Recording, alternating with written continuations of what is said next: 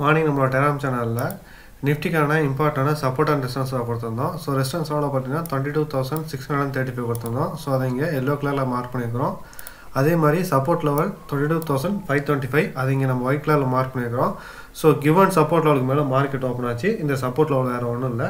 Previous all டைமே இதுதான் magic லெவலுங்கிறது நம்ம லாஸ்ட் வீக்கும் நம்ம டெலாம் சேனல் பார்த்துட்டு தான் இருக்கோம். மார்க்கெட் அந்த லெவலுக்கு மேலே ஓப்பன் ஆச்சு. அந்த லெவலில் சஸ்டைன் பண்ணிச்சு. அண்ட் தென் ஃபைனலாக வந்து கொடுத்துருந்த இந்த ரெசிஸ்டன்ஸ் அவ்வளோ பிரேக் பண்ணக்கப்புறம் மார்க்கெட் சிங்கிள் டைரக்ஷனாக மேலே மூவ் ஆனிச்சு அண்ட் தென் ஃபைனலி பார்த்தீங்கன்னா ஒரு ப்ராஃபிட் புக்கிங் கேண்டில் வந்துச்சு. அதுக்கப்புறம் மார்க்கெட் அப்படியே மீட்டடாக போயிடுச்சு.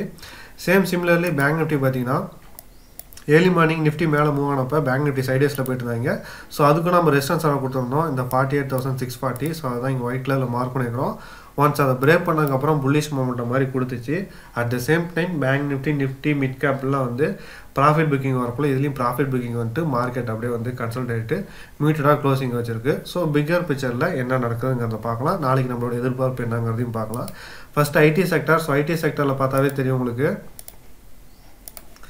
மார்க்கெட் நான் ஏற்கனவே சொல்லியிருந்தேன். ஐடி செக்டர் ஒரு ரெண்டு நாள் கீழே விடுது அதுக்கப்புறம் ஜோன் ஃபார்ம் ஆகிடுதுன்னு சொல்லி. ஸோ பார்த்தீங்கன்னா மார்க்கெட் வந்து கண்டினியூஸாக இன்னும் ஜோனுக்குள்ளே தான் இருக்குது இப்போ லாஸ்ட்டாக ஃபார்ம் ஆன அதே ஜோனுக்குள்ளே தான் இருக்குது ஸோ ஐடி செக்டர் இந்த ஜோனை பிரேக் பண்ணதுக்கப்புறம் ஃபர்தர் மொமெண்டம் என்னங்கிறது நம்மளுக்கு தெரிஞ்சிடும் அதே மாதிரி நிஃப்டி ஃபிஃப்டி இந்த மேஜிக்கல் லெவலுக்கு மேலே மார்க்கெட்டால் க்ளோசிங் வைக்க முடியல அப்படிங்கிறது நம்ம லாஸ்ட் வீக்கே பேசியிருந்தோம். Either daily candle or weekly candle ரெண்டுலேயுமே மார்க்கெட்டால் அந்த லெவலுக்கு மேலே க்ளோசிங் வைக்க முடியலன்னு பேசியிருந்தோம்.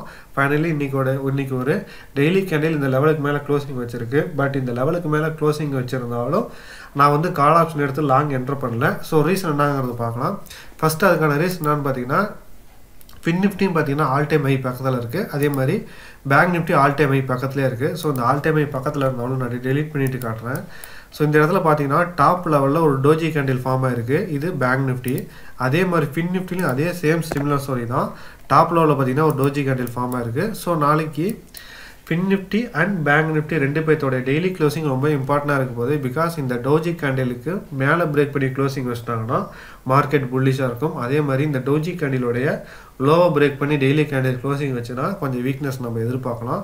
ஸோ அதனால் டோஜி கேண்டில் நாளைக்கு எக்ஸாக்ட்லி இன்னைக்கு ப்ரெசன்ட் டேவோட ஹையன்லோ நாளைக்கு இம்பார்ட்டண்டான சப்போர்ட் அண்ட் ரெசிஸ்டன்ஸ் எவ்வளோ ஆக்ட் ஆக போகுது.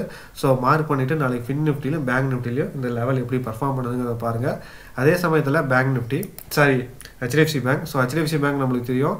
மார்க்கெட் பார்த்திங்கன்னா இந்த ஜோனில் வந்து சைடேஸில் போயிட்டு இருந்துச்சு. மார்க்கெட் எப்போ இந்த ஜோனை பிரேக் பண்ணுது? பிரேக் பண்ணதுக்கப்புறம் நல்ல மொமெண்டம் வரும்னு ஸோ பிரேக் பண்ணதுனால தான் வந்து ஃபின் நிஃப்டி பேங்க் நிஃப்டி நீங்கள் பார்த்தீங்கன்னா தெரியும். நல்ல மொமெண்டம் வந்துச்சு. ஸோ நெக்ஸ்ட் டார்கெட்டை நம்ம என்ன சொல்லியிருக்கோம்? இந்த கேப் பார்டர் சொல்லியிருக்கோம். இங்கே சிக்ஸ்டீன்த் ஜனவரிக்கும் செவன்டீன்த் ஜான்வரிக்கு இருக்கிற ஹையரில் தான் சொல்லியிருக்கிறோம். சேம் சிமிலர்லி நம்ம ஏற்கனவே பல டைம் பார்த்துருக்கோம் மார்க்கெட் எப்போலாம் இந்த மாதிரி சைடேஸில் போதோ அந்த சைடேஸ் ரேஞ்சை பிரேக் பண்ணதுக்கப்புறம் இந்த ஹை அண்ட் லோ என்ன வேல்யூவில் இருக்கோ அதே வேல்யூக்கு தான் டார்கெட் வரும்னு சொன்னோம். சேம் அப்படியே சிமிலராக மேலே நீங்கள் மூவ் பண்ணி பார்த்தீங்கன்னா தெரியும். எக்ஸாக்டாக அங்கே போய் கேப் பாட்டில் தான் வந்து மார்க்கெட் நிற்குது ஸோ அதனால் ஹெச்டிஎஃப்சி பேங்க் இந்த கேப் பாட்டில் போகிறதுக்கு அதிக வாய்ப்புகள் இருக்குது ஸோ இந்த கேப் பார்டரோடைய லோயர் பாயிண்ட்டில் ரெசிஸ்டன்ஸ் எடுத்து ரிவர்ஸ் ஆகுதா? அப்படி இல்லை பிரேக் பண்ணிட்டு மேலே ஃபில் பண்ணுதாங்கிறத பார்க்கலாம்.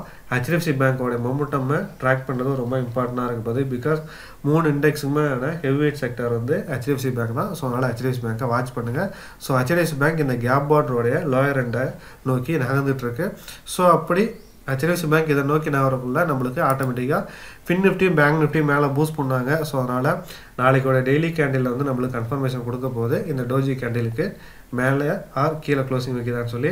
ஸோ நாளைக்கு தி இம்பார்ட்டண்டாக வாட்ச் பண்ண வேண்டியது இந்த டோஜி கேண்டில் மார்க்கெட் எந்த டைரக்ஷனில் பிரேக் பண்ணிட்டு டெய்லி கேண்டில் க்ளோசிங் வைக்கிறதுங்கிறது தான். ஸோ நாளைக்கு ஃபின் நிஃப்டி அண்ட் பேங்க் நிஃப்டியை வாட்ச் லிஸ்ட்டில் வச்சுட்டு ஹையர் லோ மார்க் பண்ணுங்கள் மார்க்கெட் எந்த டைரக்ஷனில் பிரேக் பண்ணுங்கிறத வாட்ச் பண்ணுங்கள் தேங்க்ஸ் ஃபார் வாட்சிங் மற்றும் சந்திப்போம். மகிழ்ச்சி.